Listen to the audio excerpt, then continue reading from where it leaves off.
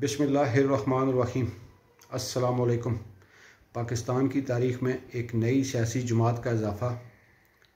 जहांगीर तरीन साहब, इसके सरबराह। और अलीम ख़ान साहब भी इस पार्टी में शमूलियत इख्तियार कर चुके हैं।